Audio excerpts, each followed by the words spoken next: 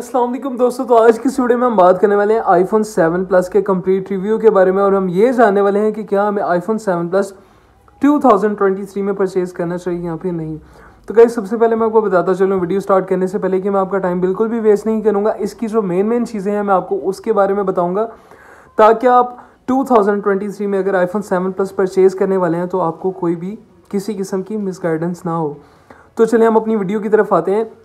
Guys अगर आप पाकिस्तान में ये जो फ़ोन है, ये one two eight G B variant वाला परचेज करने जा रहे हैं नॉन पी टी ए तो वो जो है वो आपको ट्वेंटी फाइव टू थर्टी के में जो है वो मिल जाएगा। और अगर आप पी टी ए फ़ोन जो है वो पाकिस्तान से परचेज करने वाले हैं तो आपको वो one two eight G B variant वाला, अच्छी कंडीशन वाला जो है वो फोर्टी टू फोर्टी फाइव के में मिल जाएगा।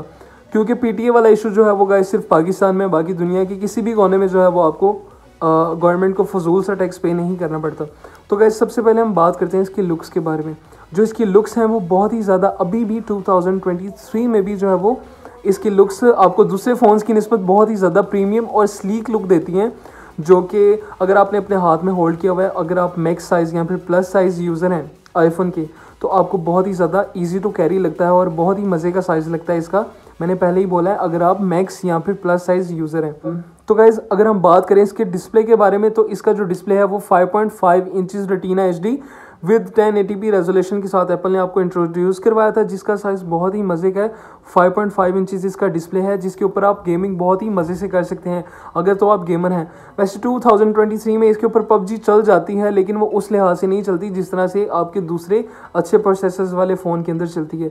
तो गैस बाकी दूसरे लिहाज से अगर आप एंड्रॉयड से आईफोन पर स्विच कर रहे हैं तो ये पहला फ़ोन है आईफोन का, जिसमें आपको जो है वो ड्यूल कैमरा आईफोन ने दिया था। खैर कैमरे की बात हम जो है वो कैमरा वाले सेशन में करेंगे। तो फ़िलहाल हम इसके डिस्प्ले की तरफ़ जो है वो बात करते हैं। तो गाइज़ इस फ़ोन में जो है वो एप्पल ने हमें ट्रूटॉन नहीं दिया। यहाँ पे आप ऑटो एडजस्टिव या फिर सेटिंग्स में से जाके जो है इसकी डिस्प्ले की शार्पनेस को सेट कर सकते हैं ताकि ये जो है वो आपकी आँखों पे इफ़ेक्ट ना करे।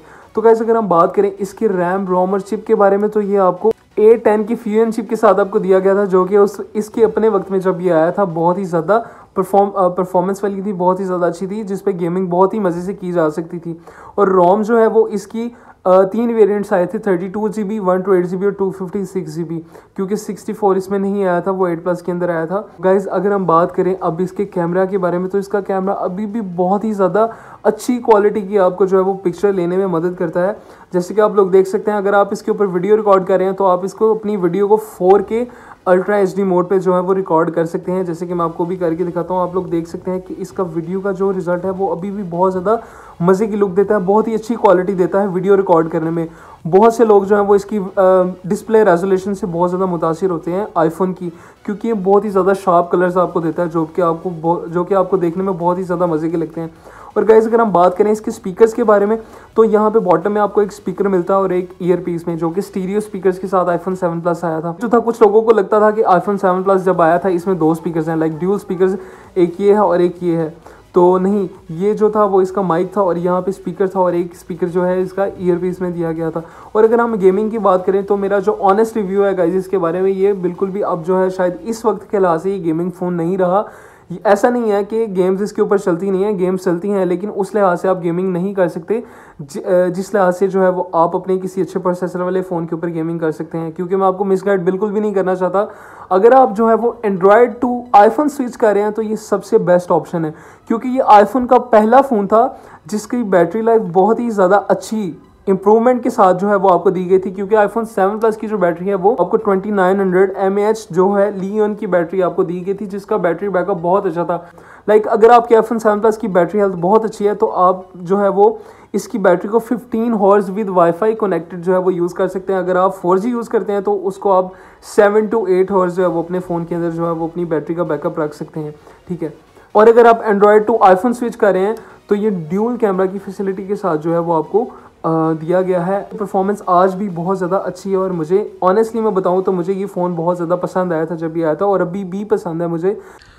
और गाइज़ इसके अंदर जो है वो 2022 के बाद जो है वो ये अपडेट होना बंद हो गया। लाइक like, इसकी जो अपडेटेशन है वो 15.7.3 के पास आके रोक दी गई है। इसके बाद ये 16 पॉइंट पे नहीं जा सकता। लाइक आई ओ सिक्सटीन पे नहीं जा सकता। तो लेकिन 15.7.3 पे जो है वो इसकी सारी ऐप्स वर्क कर रही हैं। तो इसके बारे में आपको घबराने की बिल्कुल भी ज़रूरत नहीं है। और ये था गाइजेस के बारे में कंप्लीट रिव्यू अगर आपको मेरी वीडियो अच्छी लगी है तो प्लीज़ मेरे चैनल को सब्सक्राइब करना मत भूलिएगा और मेरी वीडियो को लाइक करना भी मत भूलिएगा। Thank you so much